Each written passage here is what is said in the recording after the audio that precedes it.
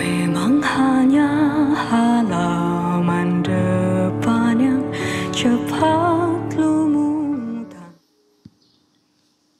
Baik, menurut saya, salah satu yang menyebabkan karya ilmiah tampak kalang kabutan, bingung mau ke mana mengejar tujuan, adalah karena tidak menguasai segala apa yang dikutipnya.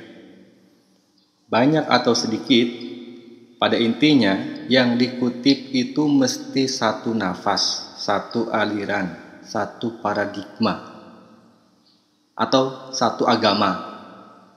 Kalau tidak satu aliran, berarti sumber yang dikutip akan dikritik atau dibuat tesis yang lemah, sehingga memunculkan antitesis yang kelak mendukung penulisnya sendiri yaitu yang disebut dengan rekayasa karya ilmiah. Dalam filsafat ilmu, hal itu sering dibicarakan. Bahwa sering kali karya ilmiah itu mengandung sisi sandiwara tertentu. Ya, ada pandangan yang diletakkan sebagai pandangan yang lemah untuk mendukung skenario munculnya sintesis setelah munculnya antitesis.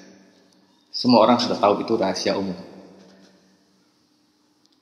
Tetapi kalau misalnya pandangan dari aliran bertabrakan lalu disimpan pada sebuah paragraf yang justru mendukung paragraf tersebut, itu artinya penulis karya ilmiah itu tidak mengerti sumber yang dikutipnya.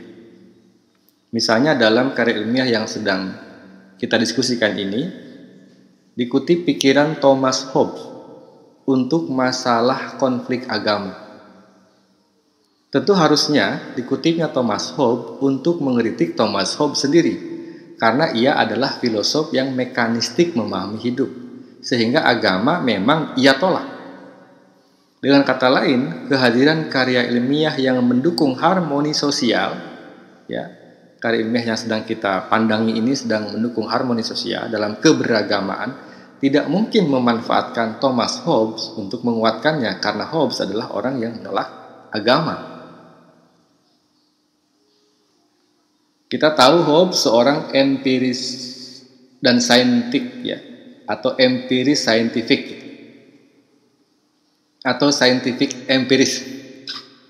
Segala yang dibenarkan oleh Hobbes adalah segala yang dibenarkan oleh pengalaman indrawi. Karena itu ia lebih banyak tertarik dengan urusan fisika, bahkan menulis tentang optik.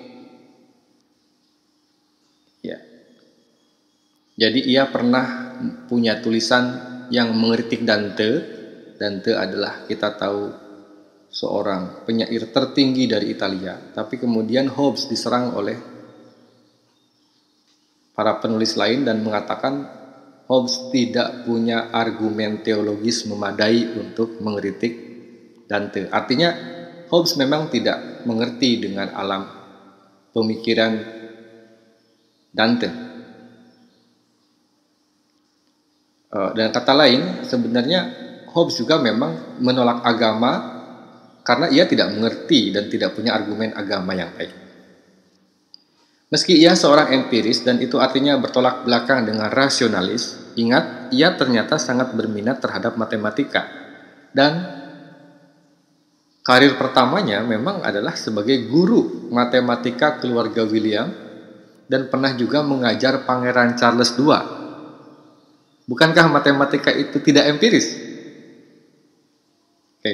Jadi sebagai seorang empiris dia adalah empiris yang seharusnya menolak rasio, tapi ia adalah guru matematika. Anda bisa mengerti maksud saya bahwa dengan kata lain Thomas Hobbes bukan orang yang empiris sejati juga ternyata.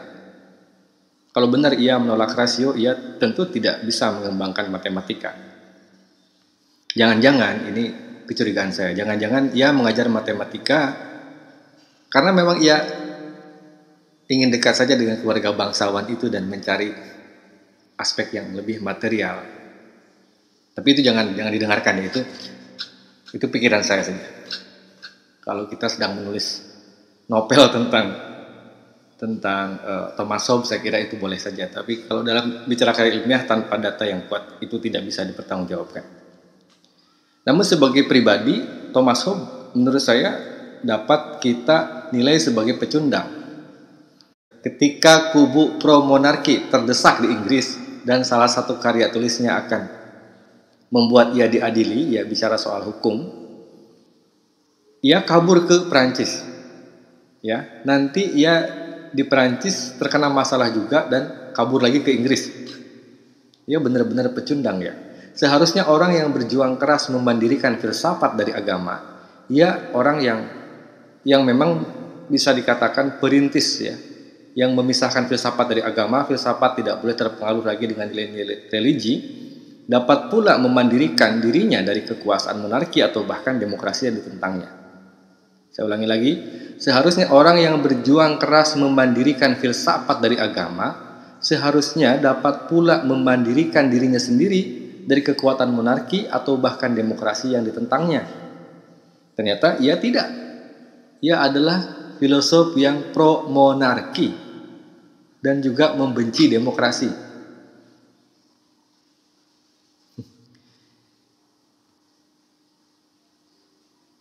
Oke. Karya tulis yang sedang kita baca ini ditulis di alam demokrasi dan mengandaikan manusia dapat hidup rukun di alam demokrasi juga.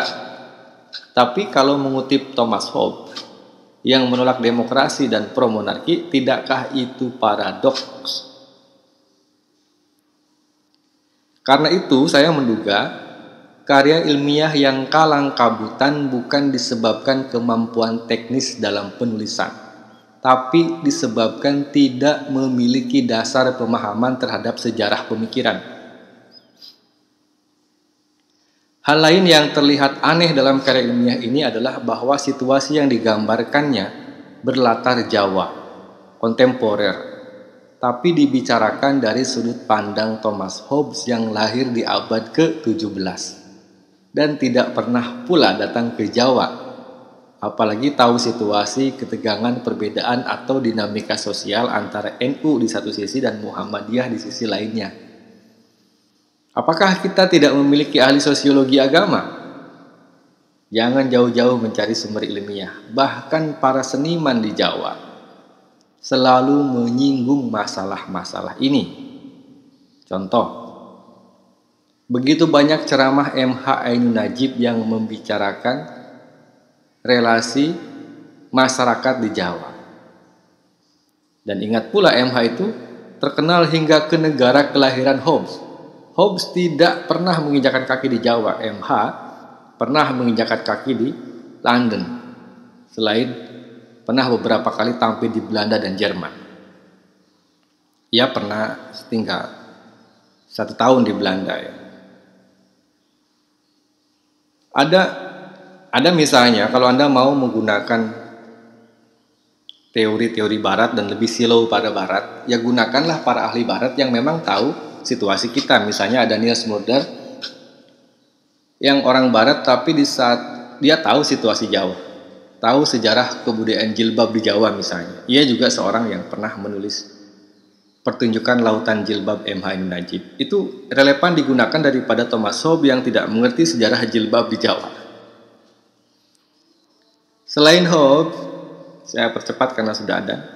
Karya ilmiah ini juga menggunakan pandangan Martin Buber yang berlatar belakang Yahudi. Bukan karena ia Yahudi maka ia kurang relevan dengan karya ilmiah ini, tetapi karena ia adalah Yahudi yang murtad ke sekularisme. Tapi juga tidak murtad sepenuhnya ya. Ia membaca Immanuel Kant, ia belajar Soren Kierkegaard sehingga ia juga disebut seorang eksistensialis, ia juga membaca Nietzsche. Dan mungkin yang menarik dari Buber, kalau mau Anda gunakan, bukan filsafat cintanya dalam hal ini, tapi kajian atas novel Kambing dan Hujan ini, tapi pemikirannya dalam sosiologi. Karena beliau adalah profesor bidang sosiologi dan masih ada kaitan saudara juga dengan Karl Marx. Karl Marx kita tahu adalah seorang yang punya pemikiran penting di dalam sosiologi. Tapi harus diingat pula bahwa ia kelihatannya akan ditolak NU ya bubar itu akan ditolak NU juga akan ditolak Muhammadiyah karena ia adalah pendukung Zionisme, pendukung berdirinya negara Israel, meskipun agak moderat. Jadi mengapa muncul Martin Buber di dalam karya ilmiah yang mendiskusikan uh, mendiskusikan hubungan NU dan Muhammadiyah jika orang yang dikutipnya sendiri sebenarnya tidak mendukung Islam. Akar masalah yang diangkat oleh novel Kami dan Hujan ini bukan cintanya, tetapi relasi sosial antara keluarga NU dan Muhammadiyah. Karena itu, kalaupun ada dari buber yang akan dipakai, tentu itu dari sudut pandang relasi sosial dan bukan filsafat cinta. Demikian dulu, semoga uh, Anda bisa mengerti. Saya tidak bisa lama, sudah ada. Assalamualaikum warahmatullahi wabarakatuh.